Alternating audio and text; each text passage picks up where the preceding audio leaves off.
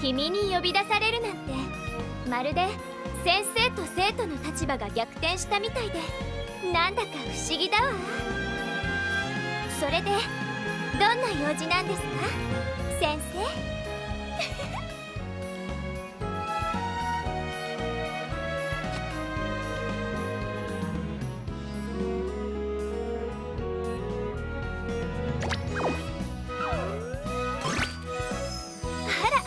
私の真似？君なりの誕生日プレゼントなのね。どんな高価なものより嬉しいわ。心に残る一番の贈り物ってこういうことを言うのかしら？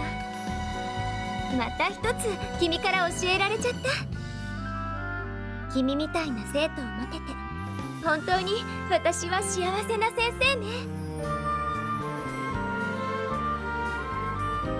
せっかくだし今日はいっぱいお祝いしてもらっちゃおうかな。